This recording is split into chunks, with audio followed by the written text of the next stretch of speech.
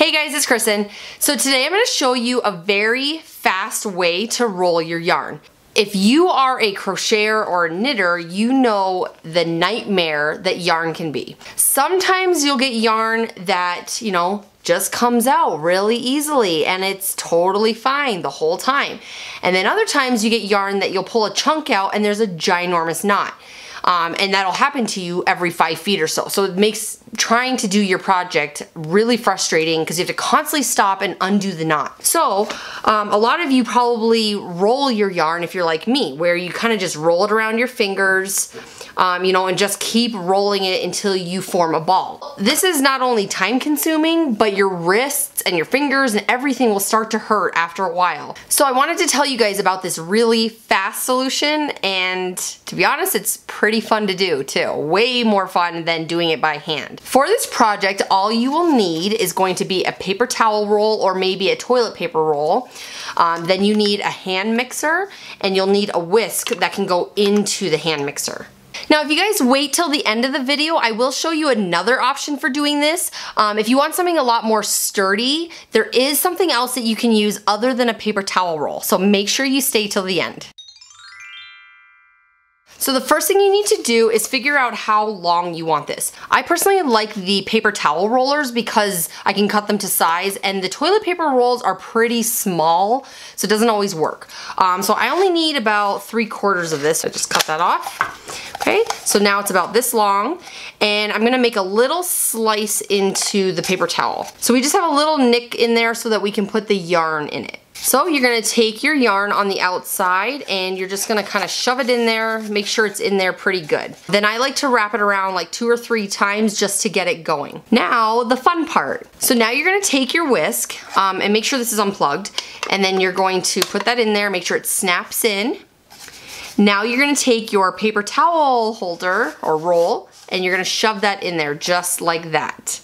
Now we just need to turn it on. One thing I want to mention is if your hand mixer does not have one of the slow settings, like a stir setting, be careful because this will go really, really fast and it can become uncontrollable if you're not paying attention. Pretty much you want to hold it in the middle for a few seconds and then you can start moving the yarn back and forth um, to let it kind of fill up. So here we go. We're going to turn it on. You ready? See how fast? So you can see it's starting to wobble a little bit, so just make sure, you might have to stop it every once in a while just to make sure it's in there. Also, make sure you stay about an inch away from the ends because as it starts to fatten up, it could slide off the end.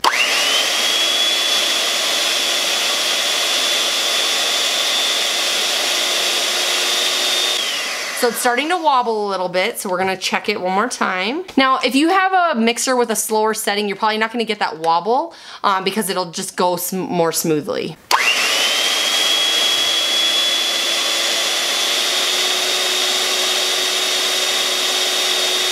Now, it just got stuck because those knots that I was telling you about that you get randomly, I just got one. So I'm gonna need to stop for a second and untie this um, get this knot out, and then we can continue um, rolling this up.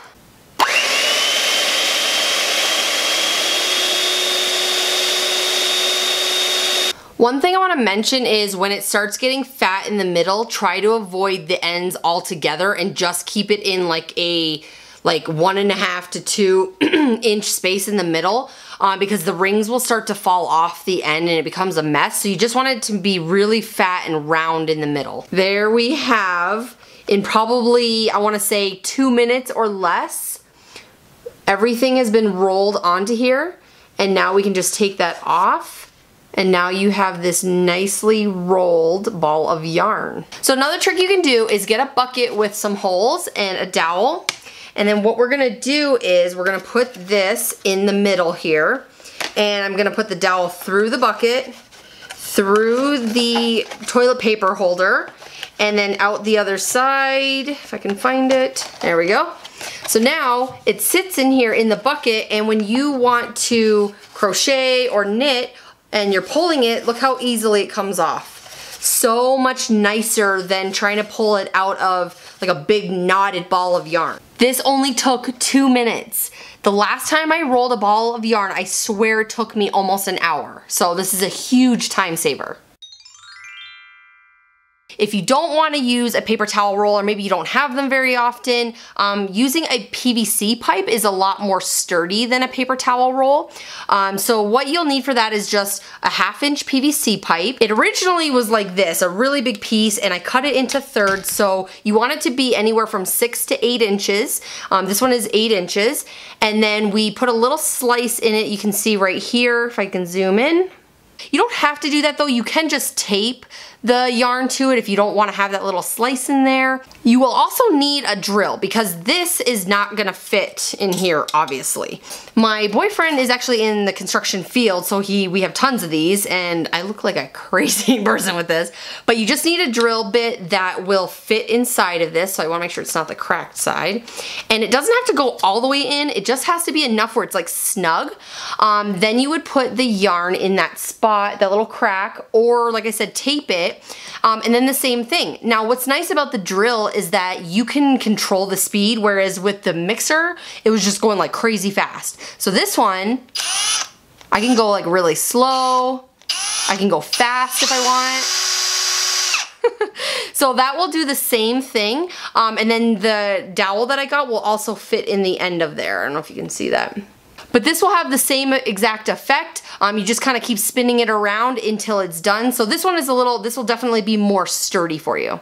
If you have your own way of rolling yarn or maybe a fast way, I would love to hear about that in the comments. Hopefully you liked the video. If you did, please give me a thumbs up and don't forget to subscribe so you can see the next video.